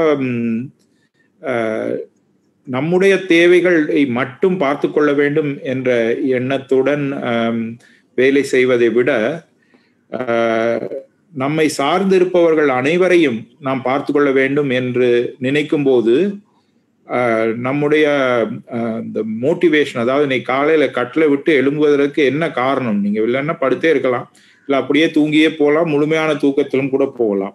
அப்படி இல்லாமல் நாம் கட்டிலில் இருந்து துள்ளி எழுந்து இன்னைக்கு இந்த வேலையை செய்யணும்னு நினைக்கிறதுக்கு நமக்கு ஒரு நல்ல ஒரு ஊந்துகோல் தேவை. நல்ல ஒரு மோட்டிவேஷன் நல்ல ஒரு குறிக்கோள் தேவை. அப்ப அந்த குறிக்கோள் வந்து நான் இன்னைக்கு சாப்பாட்டுக்கு எனக்கு ஏதாவது வேணுங்கிறத மட்டும் கூட குறிக்கோளா இருக்கலாம். தப்பில்லை. அதுவும் ஒரு குறிக்கோள் தான். ஆனால் நான் என்னை மட்டும் சிந்திக்காமல் என்னுடைய குடும்பத்தை நான் சிந்திக்கும் போது அந்த குறிக்கோள் விரிவடைகிறது. என்னுடைய இம்மீடியட் ஃபேமிலி இல்லை இம்மீடியட் ஃபேமிலியில் என்னுடைய பெரிய என்னுடைய தெருவில் இருக்கக்கூடிய அனைவரையும் நான் ஏதோ ஒரு வகையில் பெருமைப்படுத்த நான் நினைக்கும் போது என்னுடைய குறிக்கோள் இன்னும் விசாலமாகிறது இன்னும் விரிவடைகிறது. அப்ப என்னுடைய உ- அந்த வெற்றிக்கான அஹ், உத்வேகம் இன்னும் அதிகமாகிறது. அதுபோலத்தான் நாம் சமூகத்தை முன்வைத்து நம்முடைய சமூகம் நம்முடைய நாடு முன்னேற வேண்டும். நம்முடைய நம்முடன் கூடியிருக்கிற எல்லோரும் அஹ், நல்ல நிலையில் இருக்க வேண்டும் என்று நினைக்கும் போது நமக்காக செயல்படுவதை விட அது கூடிய ஒரு ஊந்துதலை நமக்கு தரும் என்ற ஒரு எண்ணப்பாடு எனக்கு இருக்கிறது. அதில் தான் அந் அந்த ஊந்துதலின் பேரில் தான் நான் அஹ், இந்த விஷயங்களில் அஹ், ஈடுபட்டு கொண்டிருக்கிறேன். இங்க பல தலைவர்களும் அப்படித்தான் வேலை செய்திருக்கிறார்கள். அஹ், அஹ், நாம் இன்று கதைத்த மூன்று தலைவர்களும் அதே போல் செய்தவர்கள். அதே அதை பின்பற்றித்தான் இந்த பயணம் போய்கொண்டிருக்கிறது உண்மைதான் அஞ்சாமை ஈகை அறிவூக்கம். சொல்லுவாங்க. அதாவது courage liberal hand wisdom and energy this four are qualities king அடன் for every man சொல்லி அதாவது நீங்க குறிப்பிட்ட மாதிரி ஒரு ஈகை. நான் உட்பட என் போன்ற பல மாணவர்கள் உங்களது உங்களது தந்தையார் போன்ற வழி வழிநடத்தல கல்வி ஏற்றிருக்கிறோம் அஹ், அதே போன்று பல்வேறு விடயதானங்கள் நிறுவனத்தால் வணிக வணிகத்துறை சார்ந்து மட்டுமல்லாம பல்வேறு சமூக கோட்பாடுகள் சமூக செயற்பாடுகள் அதாவது சமூக நலன் சார்ந்த விடயதானங்களை உங்களோட குடும்பத்தினோட நீங்க முன்னெடுத்திருக்கிறீங்க. தமிழுக்கு பணியாற்றி இருக்கிறீங்க அந்த வகையில நீங்க உங்களோட வாழ்க்கையில மிகவும் முக்கியமான ஒரு நபராக நீங்க கருதக்கூடிய அது உங்களோட குடும்ப உறுப்பினராகவோ இருக்கலாம் அல்லது உங்களது உங்களுக்கு ஒரு மோட்டிவேட் ஒரு மோட்டிவேட்டராக கூட இருக்கலாம். உங்களோட வாழ்க்கையில நீங்க அஹ், அதிகம் பார்த்து கற்றுக்கொண்ட ஒரு நபராகவோ அல்லது வாழ்க்கையில ஒரு மிக முக்கியமான நபராக நீங்க கருதக்கூடிய நபரா நீங்க யாரை பாக்குறீங்க இப்ப இப்ப மனசுல முன்னால நின்று கொண்டு இருக்கிறவர் திரு ராஜமகேந்திரன் அவர்கள் தானே. அப்ப அவருடைய எண்ணம் தான் இந்த கிட்டத்தட்ட ஒரு வாரமா மனதில் ஓடிக்கொண்டு இருக்கக்கூடிய விஷயம். இப்ப அவரை பற்றி பல விஷயங்கள் நிறைய பேசிட்டேன். இருந்தாலும் குறிப்பிட்ட மறந்த ஒரு விஷயத்தை இப்ப நான் சொல்ல விரும்புகிறேன். ஆஹ் அவரிடம் பார்த்த குணாதிசயம் அல்ல அது. அவருடன் வேலை செய்து கொண்டிருக்கக்கூடிய அவருடன் அவருடைய தோளுக்கு தோல் நின்று அவருடன் வேலை செய்து கொண்டு இருக்கக்கூடிய ஒரு சிலருடன் நான் நெருங்கி பழகக்கூடிய வாய்ப்புகள் எனக்கு கிடைத்திருக்கிறது. தொழில் ரீதியாக இருக்கட்டும் இல்லை வேற விஷயங்களுக்காக இருக்கட்டும். நாங்க கோமாளி கிங்ஸ்னு ஒரு திரைப்படம் எடுத்தோம். அப்ப அதுக்கும் திரு ராஜமேந்திரன் அவர்களுடன் நான் சில நேரங்களில் ஒரு கைடன்ஸுக்காக அட்வைஸுக்காக போயிருக்கக்கூடிய நேரத்தில் நேரங்கள் உண்டு. அப்ப அவர் சிலருடன் தொடர்புபடுத்தி இருக்கிறார் அதே போல் எங்களுடைய தேயிலை சம்பந்தப்பட்ட ஒரு தொழிலும் அந்த மகாராஜா ஆர்கனைசேஷன்ல இருக்குது. அப்ப அதிலும் அவர் அதில் வேலை செய்திருக்கக்கூடியவர்களுடனும் நான் நெருங்கி பழகி கொண்டு இருக்கிறேன் அப்ப அவங்க ஒவ்வொருத்தர்கிட்டையும் பார்த்தேன்னா அவர்கள் ஒவ்வொருவரும் இந்த பெருந்தலைவரை எந்த வகையில் வைத்திருக்கிறார்கள்? அதாவது விசுவாசம்னு சொன்னா அது சில நேரங்கள்ல தவறான ஒரு ஒரு வேர்டா கூட நினைக்கலாம். விசுவாசம் அல்ல அது. அதாவது ஆங்கிலத்திலே லாயல்ட்டின்னு சொல்லி ஒரு வார்த்தை இருக்கிறது. அது விசுவாசத்து அளவுக்கு இல்லாட்டியும் அந்த அளவுக்கு ஒரு ஒரு ஒரு லீடர் வந்து ஒருத்தரை எப்படி ஆகர்ஷிக்க முடியும் மற்றவர்களை தன்னுடைய குழுவினர்களை? அவர்களை எப்படி அவர்கள் அவர்களுடைய முழு திறமைகளையும் முடுக்கி விட முடியும்? அப்படி ஒரு அவர் ஒரு சின் அந்த கொழும்பு ரெண்டுல மாடியில ஒரு ரூம்ல இருந்துகிட்டு அவர் எத்தனை பேரை அவர் முடுக்கி விட்டு அவர் ஒவ்வொருவரும் தலைவராக அப்ப இதைத்தான் நான் அவர்கிட்ட ஒவ்வொருத்தரும் கே கேட்பது உண்டு. நீங்க எப்படி இவ்வளவு பேருடைய அந்த விசுவாசத்தையும் லாயல்ட்டியையும் நீங்க எப்படி நீங்க சம்பாதிச்சு வச்சிருப்பீங்க நீங்க அதுக்கு என்ன செய்றீங்கன்னா அவர் சிரிச்சுக்கிட்டே தான் பதில் சொல்றோம் அது சிரிப்பு தான் அதனுடைய அப்ப அது அது ஒரு மிக அந்த அந்த அப்படிப்பட்ட தலைவர்கள் நாட்டில் இருப்பாங்கன்னு சொன்னா இந்த உங்களோட இந்த வி வி ஃபோர்ஸ் என்று சொல்லக்கூடிய இந்த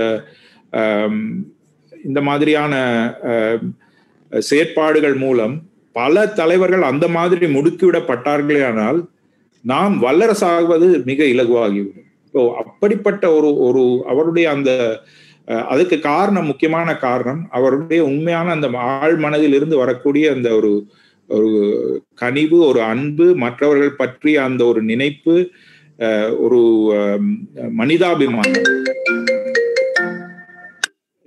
இந்த இந்த விஷயங்கள் தான் அவருக்கு அந்த உந்துதலாக இருந்திருக்கும் நான் நினைக்கிறேன். அப்ப அது அவர் ஒரு உண்மையிலேயே மன மனம் கவர்ந்த மனதை ஈர்த்த மதிப்புக்குரிய தலைவர் என்றே நான் சொல்றேன். அவரை இந்த இடத்திலே அவரை அவரை விட இருக்கலாம் மற்றவர்களும் இருக்கலாம். இந்த நேரத்துல மனசு வேற எங்கேயும் போகுதில்லை அவர்கிட்டயே தான் திருப்பி திருப்பி போகுது. அது மட்டுமல்ல இப்ப இன்னொரு இப்ப இதில் பார்த்து கொண்டிருப்பவர்கள் தொழில் முனைவோர்களாக இருக்கலாம். நீங்க உங்களுடைய அந்த வாலண்டியர்ஸ் வாலண்டியரிசம் அது போன்ற விஷயங்கள்ல குழுக்களை அமைத்து ஒரு சமூகத்தில் ஒரு வித்தியாசத்தை ஏற்படுத்துவதற்கு அந்த வாய்ப்புக்குரிய மக்கள் இங்கே இருக்கிறார்கள். பலரும் கேட்டுக்கிட்டு இருக்கிறாங்க. அப்ப அவங்களுக்கு சொல்லக்கூடிய சில விஷயங்கள் இருக்குது. அதுவும் இவருடைய இதையும் தொடர்பு படுத்தலாம்னு நினைக்கிறேன். அதாவது உலகம் மாறிக்கிட்டே இருக்குது. மாறிக்கிட்டே இருக்கும்போது நாம் நம்முடைய சிந்தனைகளும் மாறிக்கொண்டே இருக்க வேண்டும். அப்ப ஒரே மாதிரியாக சிந்தித்து கொண்டு நாம் கேள்விப்பட்டதையே பேசிக்கொண்டு நடந்து கொண்டிருக்கதையே பார்த்துக்கிட்டு இருக்கும்போது ஒரே ஒரே மாதிரி யோசிச்சிங்கன்னா அந்த பிரச்சனை அப்படியே தான் இருக்கும். அது மாறப்போடுவது அல்ல. அப்ப அந்த பிரச்சனையை மாற்று மாற்றுவதற்கு அந்த மாத்தி யோசின்னு சொல்லக்கூடிய ஒரு விஷயத்தை நாம் மனத்தில் முன் முன்னே வைக்க வேண்டும். அப்ப அந்த மாத்தி யோசித்த ஒரு மனிதர் தான் திரு ராஜமகேந்திரன் அவர்கள். முதலில் அந்த டயலாக்னு இன்னைக்கு பெரிய ஒரு வேகமாக நடந்து கொண்டிருக்கக்கூடிய ஒரு தொழில் ஸ்தாபனத்தை மிக இலகுவாக ஆரம்ப கட்டத்திலே அவர் கொண்டு வந்தார். அப்ப அந்த நேரத்தில் ஏற்கனவே பெரிய செல்டெல் போன்ற பெரிய நிறுவனங்கள் அந்த தொலைத்தொடர்பு துறையிலே பெரிய அளவில் இருந்தது. வெளிநாட்டு மக்கள் இருந்தாங்க. இருந்தாலும் அவர் ஆரம்பிக்கும் போது இன்றைய நேரத்திலே எது நம்பர் ஒன் டெக்னாலஜியாக எது இருக்கிறதுன்னு பார்த்து அதை கொண்டு வந்தார். அந்த ஜிஎஸ்எம்ங்கிற டெக்னாலஜியை அவர் துணிவாக கொண்டு வந்தார். அதில் அதை கொண்டு வரும்போது பல தடங்கல்கள் இருந்தன. அது அதுக்கு இது தேவையில்லை இப்படி ஒரு பெரிய கம்பெனி என செல்டெல்ங்கிற நிறுவனம் பல கோடிக்கணக்கான பணத்தை சம்பாதித்து மிக மிக உயர்நிலையில் இருந்தது. அரசாங்கத்தினுடைய பெரும் ஆதரவு இருந்தது. அப்படி இருந்தும் இவர் சென்று அந்த இன்றைய தொழில்நுட்பம் என்னன்னு பார்த்தா அதை கொண்டு வந்தார். கொண்டு வந்த ஒரு சில வருடங்களிலேயே செல்டெல் நிறுவனம் மூடப்பட்டது என்றே கூட சொல்லலாம். இப்ப வேற வேற பெயர்களில் மாறி இப்போதும் இருக்கிறது என்று இருந்தாலும் அந்த நிறுவனம் மூடப்பட்டது. அது காரணம் என்ன? அவங்க பழைய தொழில்நுட்பத்தை வைத்துக்கொண்டு நான் எங்களை அசைப்பதற்கு யாரும் இல்லை அப்படிங்கிற ஒரு எண்ணத்தோடு அவர்கள் இருந்தார்கள். புதிய தொழில்நுட்பம் வந்தவுடன் மாற்றி ஒருவர் யோசிக்க ஆரம்பித்ததால் அவர் வெற்றி அடைந்தார். அப்ப அந்த அது கம்ஃபர்ட்னு சொல்லுவாங்க. இதுவும் இருக்கிறது. அப்ப நம்ம ஒரு தொழிலை ஆரம்பிக்கும் போது சில நேரத்துல ரைட்டு ஒரு சின்ன கடை ஆரம்பித்தோம் ரைட் எனக்கு வருஷம் மாசத்துக்கு ஒரு ஐம்பதாயிரம் வருமானம் கிடைக்குது. ஓரளவு நான் இப்ப செட்டில் ஆயிட்டேன். இப்போ ஒரு லட்சம் ஆகுது. நான் இனிமே ஓகே அப்படின்னு ஒரு கம்ஃபர்ட்டுக்குள்ள நாம் எப்போ போகிறோமோ அன்று நமக்கு பிரச்சனை ஆரம்பமாகிறது. சொல்ல ஒரு சின்ன கதை நினைவுக்கு வருது. ஒரு ஒரு பெரிய ஒரு ஜாடியில ஒரு ஒரு பாட்டில்ல ஒரு அது முழு முழுமையாக தானியங்கள் நிறைந்திருந்த ஒரு பாட்டில் வாய் வரைக்கும் நிறைஞ்சிருக்கு தானியம். அந்த பாட்டில்ல ஒரு எலி விழுந்தது. விழுந்தவுடன் அதற்கு ஒரே சந்தோஷம். ஆஹா நம்ம இனிமே எங்கேயும் போய் சுத்தி அலைய தேவையில்லை. சாப்பாட்டுக்கு எந்த நாளும் சுத்திக்கிட்டு இருக்கோம். இந்த மாதிரியான ஒரு வசதி ஆண்டவனை கொடுத்துட்டான்னா அது அந்த தானியங்களை சாப்பிட ஆரம்பித்தது.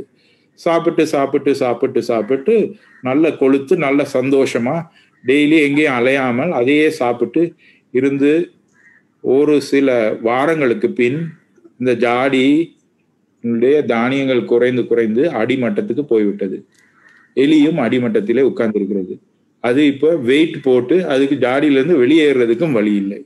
அப்போ அதுல என்ன நடந்ததுன்னா நம் கம்ஃபர்டபுளா எதுக்குள்ள இருக்கிறோம் அப்படின்னு அதுக்குள்ளேயே சுத்தி வந்து கொண்டு இருந்தோமே ஆனால் நாம் அந்த நமக்கு எவ்வளவு கஷ்டங்கள் ஆண்டவன் கொடுக்குறானோ அது வந்து நம்முடைய நம்முடைய அந்த தசை நார்களை உரப்படுத்துவதற்கு தான் நமக்கு கஷ்டத்தை கொடுக்கும். அது மனதில் உள்ள தசையாக இருக்கலாம் உடம்பில் உள்ள தசையாக இருக்கலாம். அப்ப அந்த எப்படி அந்த இடுக்கண் வகுங்கால் வருங்கால் நகுக அதை அடுத்து வருவது அக்தொப்பது இல் என்று திருவள்ளுவர் சொன்னது போல் நமக்கு வரக்கூடிய அந்த கஷ்டங்களை பார்த்து நாம் நகைக்க வேண்டும். ரொம்ப லேசா சொல்லலாம் நகைங்கன்னு. இருந்தாலும் சிரிக்கிறது சிரி சிரித்தாலும் இப்போ இப்போ வர்ற கஷ்டங்கள் இன்னுமே ரொம்ப கஷ்டமா இருக்கலாம். இருந்தாலும் அந்த கஷ்டத்திலிருந்து நாம் வெளியே வருவதற்கு நம்முடைய உடலும் மனமும் தயாராக இருக்குமே ஆனால் அது கண்டிப்பாக நம்மை வெளியே கொண்டு வரும். அப்ப அந்த இந்த இந்த இந்த விஷயத்தை இன்னும் பகிர்ந்து கொள்ளணும்னு சொல்லி தோணுச்சு. அதாவது பலரும் நாம் எல்லோரும் இந்த மாதிரியான ஒரு இந்த கொரோனாவாகட்டும் நம் நாடு சந்தித்து கொண்டு இருக்கக்கூடிய கடுமையான கஷ்டங்களாக இருக்கட்டும் விலைவாசி அதிகமாகட்டும் வேலை வாய்ப்புகள் குறைந்திருக்கக்கூடிய ஒரு நேரமாக இருக்கிறது. இப்படி எல்லாம் இருக்கும் அதே நேரத்தில் இதிலும் வெற்றி பெற்று கொண்டிருக்கக்கூடிய பலரும் இன்னும் இருக்கத்தான் செய்கிறார்கள். அப்ப அதுக்கு மிக முக்கியமானது என்ன? அவர்களுடைய அந்த மனோநிலை. அது அந்த கஷ்டத்தையும் ஏற்றுக்கொண்டு அந்த நேரத்தில் அதை மாத்தி யோசிக்கக்கூடிய இது என்னங்கிறதை யோசித்து மக்களுக்கு என்ன தேவையோ அதை நாம் மக்களுக்கு எடுத்து செல்லலாம். அது ஒரு சின்ன ஒரு ஒரு தொழிலா இருக்கலாம் உள்ள ஒரு பெரிய வியாபாரமா இருக்கலாம். எதுனாலும் மக்களுக்கு என்ன தேவையோ அதை நாம் கொண்டு செல்வோமே ஆனால் வெற்றி கட்டாயம் உடனே கிடைக்காவிட்டாலும் ஓரளவு சீக்கிரம் கிடைத்துவிடும் என்ற நம்பிக்கை நம்பிக்கையுடன் சொல்லலாம். அது நீங்க ஏற்கனவே ஒரு ஒரு நேர்காணல்ல சொல்லியிருந்தீங்க. அதாவது தேயிலை சிறப்புல கேள்வி இருக்கும் போது வாடிக்கையாளர் நான் தேயிலையை கொடுக்கல அந்த தேநீர்ன்றது அவங்களுக்கு ஒரு உணர்வு. அந்த உணர்வு அவங்களுக்கு கொடுக்குறாங்க. அந்த உணர்வை சரியான முறையில் அவங்க சென்றடையும் போது வியாபாரமும் சரியா அதை ஒரு வெற்றி பாதையை நோக்கி முன்னெட்டு நோக்கி செல்லப்படுகிறது அது ஒவ்வொருத்தரையும் எவ்வாறு போய் சேரணும்ன்றதுலயும் அந்த வர்த்தக நோக்கான தலைமைத்துவ பண்பு நாங்க இருக்குன்றது நீங்க சொன்ன கருத்து சரியா அமைந்தது. தற்போது பங்கு பெற்றுள்ளவர்களுக்கான ஒரு விஷயம் அறிவித்தல் உங்களது செட் பாக்ஸ்ல வந்து எங்களோட ஒரு கூகுள் டிரைவ் டாக்குமெண்ட் ஒன்று போடப்பட்டிருக்கும். அதுல உங்களோட பேரை சரியான முறையில பதிவு செய்து அனுப்பினீங்கன்னா உங்களோட சான்றிதழ் உங்களோட கரங்களை வந்தடையும் ஏற்கனவே சிலருக்கு முன்னைய ப்ரோக்ராம் நிகழ்ச்சிகள்ல சான்றிதழ் கிடைக்கல என்று சொல்லி நிறைய பதிவிட்டு இருக்கிறீங்க உங்களுக்கான சான்றிதழ்களும் விரைவில் அவங்களை வந்து அடையும். அது சிறிய நிறுவனத்தில் ஏற்பட்ட ஒரு தெரியும். சில சில சிக்கல் தன்மைகள் காரணமான கொஞ்சம் தாமதப்படுது. கோவிட் காரணமாக தாமதப்படுது. நான் பெரும்பாலான நாட்கள் சான்றிதழ் வந்து அடைந்திருக்கும் நம்புறோம். ஏனைய சான்றிதழ் கிடைக்காதவர்களும் நிச்சயமா உங்க சான்றிதழ் உங்களை கரங்களை வந்து அடையும் என்றதில் எந்த மாற்று கருத்தும் இல்லை. அதே போல இன்றைய நிகழ்ச்சியில பங்கு பெற்றுள்ளார்கள். அதாவது கணேஷ் ஈஸ்வரன் தேவநாயம் ஐயாட சான்றிதழ் அவரோட அவர் நிகழ்ச்சியில் பங்கு பெற்றுள்ள சான்றிதழ் மூலம் வந்துடணும் என்றால் தற்போது இந்த கூகுள் டிரைவர் ஃபார்ம்ல உள்ள விடைதானங்களை நீங்க இப்ப ஃபில் பண்ணி அனுப்பலாம் அதே போன்று எங்களோட இந்த நிகழ்ச்சியை வந்து பதிவு செய்வதற்கு நாங்க தயாரா இருக்கிறோம் அது செய்தி அறிக்கைகள் ஒளிபரப்ப வேண்டிய ஒரு தேவை இருக்கிறபடியா தயவு செய்து உங்களோட கேமராக்களை ஆன் பண்ணி நீங்க வியூ பண்ணீங்கன்னா செய்தி அறிக்கைகள்ல நாங்க தொடர்பில் அறிக்கையிடுவதற்கு இலகுவாக இருக்கும். அது அதோட நாங்க நிகழ்ச்சியை தொடர்ந்து கொண்டு இருக்கோம். அதே தயவு செய்து உங்களோட கேமராக்கு ஆன் பண்ணீங்கன்னா சிறந்ததான் அதே போல அதாவது ஒரு தலைமைத்துவ பண்பு அதாவது நீங்க ஒரு ஒரு சிறந்த நிர்வாகியா இருக்கீங்க குட் அட்மினிஸ்ட்ரேட்டிவ் அந்த உங்களோட நிர்வாகத்திறன்ல நீங்க முன்கொண்டு செல்லும் போது நீங்க உங்கள காணக்கூடிய மிகப்பெரிய ஒரு வலிமையா என்னத்தை உங்களுக்குள்ள நீங்க கண்டுபிடிங்க ஒரு ஒரு நிர்வாகியாகவோ ஒரு குடும்பஸ்தராகவோ நீங்க உங்கள காணக்கூடிய மிகப்பெரிய வலிமையாக என்னத்தை நோக்குறீங்க அதே போல உங்களை நீங்க காணக்கூடிய மிகப்பெரிய பலவீனமா இதை பாருங்க உங்களோட பலம் பலவீனம். முதல்ல பலவீனத்தை சொல்லலாம். பலவீனம் வந்து தான் அது எப்ப நம்ம நம்முடைய பலவீனம் என்னன்னு தெரிந்து கொள்றோமோ அது பலமாக மாறிவிடுகிறதுன்னு நினை நினைப்ப நினைக்கிறேன் நான். அப்ப அந்த என்னுடைய மிகப்பெரிய பலவீனம் வந்து நான் சொல்லுவேன் பொறுமையாக இருப்பது. பொறுமையாக இருப்பது சிலருக்கு பலமாக இருக்கும். என்னை பொறுத்தவரையில் அது ஒரு பலவீனமாகவும் சில நேரங்களில் இருந்திருக்கிறது. அப்ப வாய்ப்புகளை இழப்பதற்கு அந்த பொறுமை காரணமாக இருந்திருக்கலாம். அதே நேரத்தில் அந்த பொறுமையினுடைய பொறுமையினுடைய பலம் என்னன்னு சொல்லி பார்த்தீங்கன்னா அந்த ஓடு மீன் ஓடி ஒரு மீன் வர வரைக்கும் காத்திருக்குமா கொக்கு என்று காத்து கொண்டு இருக்கும்போது சில நேரத்துல ஒரு மீன் வராமலே போயிடும் அப்ப அட்லீஸ்ட் ஓடு மீனாவது கிடைக்கும்னு சொல்லி நம்ம அதையும் மிஸ் பண்ணக்கூடிய வாய்ப்பு இருக்கிறது. அப்ப அது என்னை பொறுத்தவரையில் ஒரு ஒரு பலவீனம். ஆனால் நான் குறிப்பிட்டது போல் ஒரு குழுவாக நாம் வேலை செய்யும் போது என்னுடைய பலவீனம் பலவீனத்தை நிரப்புவதற்கு என்னுடைய குழுவில் இருக்கக்கூடிய இன்னொரு இன்னொரு அங்கத்தினர் அதை சரி செய்து விடுவார். என்னுடைய என்னுடைய பலவீனம் என்னுடைய தம்பியினால் சில நேரங்களில் சரி செய்யப்படும். அல்லது எங்களுடன் வேலை செய்து கொண்டிருக்கக்கூடிய மற்ற மற்ற தலைவர்களினால் சரி செய்யப்படும். அதே மாதிரி அவர்களுடைய பலவீனங்களை நான் முட்டு கொடுத்து சரி செய்யக்கூடிய வாய்ப்பு இருக்கிறது. அப்படித்தான் நாங்க இந்த குழுவாக வேலை செய்வதற்குரிய முக்கிய காரணம் அதுன்னு சொல்லலாம். என்னுடைய பலம் என்னன்னு சொல்லி நீங்க கேட்டீங்கன்னு சொன்னா அதுக்கு ஒரு எது எதையும் சரி செய்யலாம். எதுவுமே சோட போகாது அப்படிங்கிற ஒரு ஒரு நம்பிக்கை எனக்கு ரொம்ப ஆழமாக உண்டு. இப்போ ஒரு விஷயம் வேலை செய்யலைன்னா அதுக்கு ஏதோ ஒரு காரணம் இருக்கு. அது எப்படியாவது செஞ்சிடலாம் அப்படிங்கிற அந்த நம்பிக்கை எப்பவுமே இருக்கு. எது எதுவும் ஒரு உடைஞ்சிருந்தால் தைரியமாக கையை உள்ளே விட்டு நுழைத்து அதை ஸ்க்ரூவை கலட்டி உள்ள என்ன இருக்குன்னு பார்த்து அதை செய்தரலாம்ங்கிற நம்பிக்கை எனக்கு சிறு வயதிலிருந்தே இருக்கிறது. அது ஒரு முக்கியமான நம்பிக்கை. அது ஒரு முக்கியமான மனோபாவம் நினைக்கிறேன். கடைசி உங்களுடைய நேரம் முடிய போகுது நினைக்கிறேன் இல்லையா? அதுல ஒரு ஒரு சின்ன கதை சொல்லலாம்னு நினைச்சிட்டு இருந்தேன். நான் ஐந்து ஐந்து வரைக்கும் நிகழ்ச்சியை சொல்லியிருந்தேன் ஓகே. அதாவது மனோபாவத்தை பத்தி நான் திருப்பி திருப்பி சொல்ல வேண்டியிருந்ததுனால் இது சில நாட்களுக்கு முன் ஒரு புத்தகத்திலே படித்தது. அப்போ ஒரு ஒரு ராஜா வந்து அவர் அவருடைய நல்ல ஒரு அருமையான ராஜா. அவருடைய காதிலே ஒரு பூச்சி ஒன்று புகுந்து விட்டது ஒரு நாள். பூச்சி போன உடனே அவர் அவருடைய அது உள்ளே போய் அவருக்கு ஒரு குழப்பத்தை ஏற்படுத்தி விட்டது. அப்போ அதை வெளியே எடுக்க வேண்டும் என்று அவர் ஊர்ல உள்ள வைத்தியர்களை கூப்பிட்டு அவங்க எல்லாரும் பார்த்து பல மருந்துகளையும் போட்டு பார்த்தார்கள். சரி வரவில்லை. காதுக்குள் பூச்சி குடுகொடுத்து கொண்டே இருக்கிறது. அப்ப ராஜாவின் மனம் முகம் பொலிவிழக்கிறது அவரால் எந்தவித காரண காரியங்களையும் செய்ய முடியவில்லை. நாடே ஒரு கஷ்டத்திலே ஆழ்ந்து கொண்டு இருக்கிற நிலைமைக்கு வந்துட்டுது. அப்ப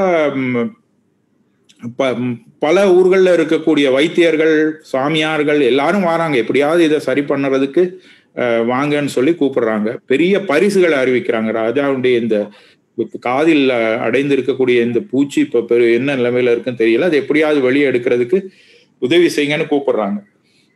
அப்ப பலரும் வந்து ட்ரை பண்ணியும் ஒண்ணுமே நடக்கல. ராஜாவினுடைய கண்டிஷன் ரொம்பவும் மோசமாயிட்டே போகுது. அப்போ ஒரு இமயமலையிலிருந்து ஒரு ஒரு மகான் வர்றார். தன்னுடைய சீடர்களோட அவர் அந்த பக்கமா வரும்போது அங்கே இருக்கக்கூடிய மக்கள்லாம் போய் ஐயா நீங்க பெரிய மகான்னு சொல்றாங்க. எங்க ராஜாவை சரிப்படுத்துங்கள். அவருடைய காதில் இருக்கக்கூடிய இந்த பூச்சியை வெளியே எடுத்தால் தான் இந்த நாடே உருப்படும். அதனால எப்படியாவது நீங்கள் வந்து தயவு செய்து இதை சரிப்படுத்தி விடுங்கன்னு சொன்னோடனே மகானும் அரசம் அரசனுடைய அரண்மனையை போய் பார்க்கிறார். பார்த்தவுடன் ராஜாவின் முகம் இப்படி வீங்கி புலி விழுந்து ரொம்ப ஒரு கஷ்டத்துல இருக்கிறது. அப்ப அந்த மகான் நல்ல அவரை கவனமாக கவனித்து காதுக்கு உள்ளும் சரியான முறையில் அவர் கவனித்து சொல்கிறார் சரி இதுக்கு வந்து ஒரு ஒரே ஒரு இமயமலையில இருக்கக்கூடிய ஒரு மூலிகை இருக்கிறது ஐயா அதை கொண்டு வந்தா தான் உங்க பிரச்சனையை சரி பண்ண முடியும். இப்போ நான் என்னுடைய சீடர்களை அனுப்பினால் அவங்க வர்றதுக்கு எப்படியும் ஒரு மாசத்துக்குள்ள அவங்க கொண்டு வந்துவாங்க அது வரைக்கும் உங்களால் பொறுக்க முடியுமான்னு கேட்குறேன் இப்போ நான் பொறுக்கணும் ஐயா இத்தனை நாள் நான் பொறுத்துட்டேன். எப்படியாவது நீங்க இந்த பிரச்சனையில இருந்து தீருங்கன்னு ராஜா சொல்றாரு. உடனே அப்ப சீடர்களை அந்த மகான் அனுப்பி விடுகிறார். சீடர்கள் ஒரு மூணு வாரத்துக்குள்ளேயே அவசரமாக ஓடி திரிந்து அந்த இமயமலை மூலிகையை எடுத்துக்கிட்டு வந்துடுறாங்க. கொண்டு வந்தவுடன் அந்த ஒரு முக்கியமான ஒரு நல்ல நாள் பார்த்து பிரம்ம முகூர்த்தத்திலே காலையில் அந்த மூலிகைக்கு சில பூஜைகள் எல்லாம் செய்து ராஜாவின் காதுக்குள் அது ஊட்டப்படுகிறது. ஊற்றி ஒரு ஒரு மணித்தியாலம் அவரை தனியாக இருக்க வைத்து அதற்கப்புறம் அந்த காதில் இருக்கக்கூடிய அந்த மூலிகை சாரை வெளியே எடுக்கும்போது மகான் தன்னுடைய கையில் அந்த பூச்சியும் வெளியே வந்ததை காட்டுகிறார். அதை பார்த்தவுடன் ராஜா மிகுந்த மகிழ்ச்சி அடைந்து தன்னுடைய இவ்வளவு பெரிய பிரச்சனை இத்தனை மாசங்களா நான் கஷ்டப்பட்டு இருந்த பிரச்சனையை நீங்க எப்படி சரி பண்ணிட்டீங்கன்னு அவர் காலிலே சாஷ்டாங்கமாக விழுந்தது மட்டுமில்ல அவருக்கு எல் அவர் கேட்டது எல்லாம் செய்து கொடுக்கிறார். அப்ப சாயந்தரம் மகான் தன்னுடைய ஜாகைக்கு வந்து சீடர்களோட இருக்கும்போது அப்ப சீடர்கள் கேட்குறாங்க ஐயா நீங்க இவ்வளவு பெரிய பிரச்சனையை இந்த நாட்டுக்கு தீர்த்து வைத்திருக்கிறீர்கள். இந்த மூலிகையை பற்றி எங்களுக்கும் சொல்லுங்கள். நீங்க இது நாள் வரைக்கும் எங்க இங்க இதெல்லாம் எங்களுக்கு சொல்லி கொடுக்கலையே அப்படின்னு கேட்குறேன். அப்ப மகான் சொல்றாரு இது என்ன மூலிகைப்பா இது மூலிகை வந்து இங்க பக்கத்து தோட்டத்துல இருக்கிற மூலிகை தான் நான் கொண்டு வந்தேன். இது ஒன்றும் அப்படிப்பட்ட மூலிகை அல்ல அப்படிங்கிறார். இப்ப எப்படி நீங்க காதுல இருந்து பூச்சியை எடுத்தீங்க அப்படிங்கிறது? எப்பா பூச்சியை ஒன்றும் நான் எடுக்கல. ஏற்கனவே செத்து போன ஒரு பூச்சியை தான் நான் அவருக்கு காமிச்சேன். அப்ப இது ஏன் நீங்க இப்படி செஞ்சீங்கன்னு?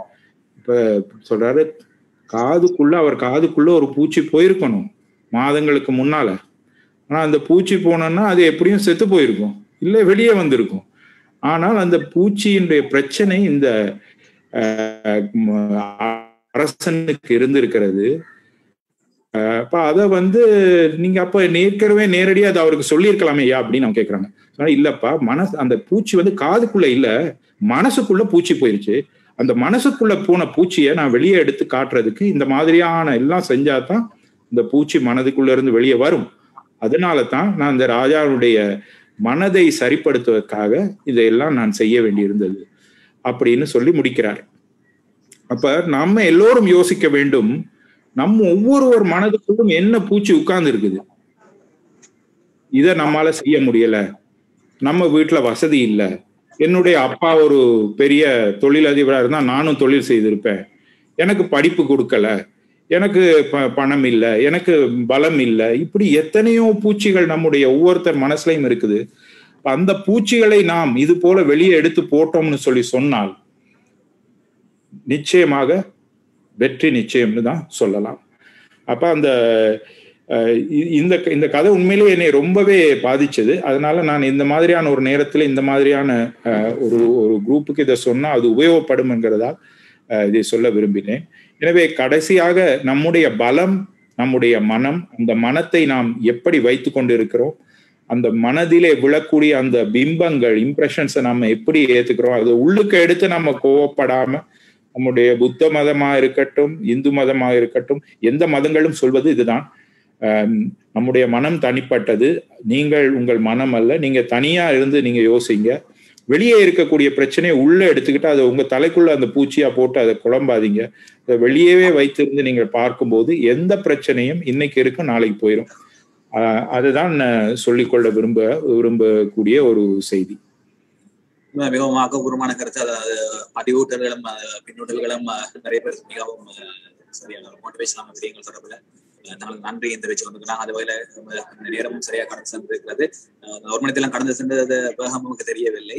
அஹ், கடந்து சென்றிருக்கிறது. அந்த வகையில் நன்றி தெரிவிக்கணும். அதை நீங்க குறிப்பிட்ட மாதிரி if you actions inspires others to dream more learn more do more and become more you are leader அந்த வகையில நீங்க ஒரு ஒரு சமூக ஒரு தொழில் அஹ், வல்லுநராக மாத்திரம் இல்லாம ஒரு சமூக செயற்பாட்டாளராகவும் ஒரு சிறந்த ஒரு சமூக க- கல கலாசார விழுமியத்தை கொண்டு ஒரு குடும்பமா இந்த நாட்டுல தொடர்ச்சியா நீங்க உங்களோட செயற்பாடு எடுத்து வாரீங்க.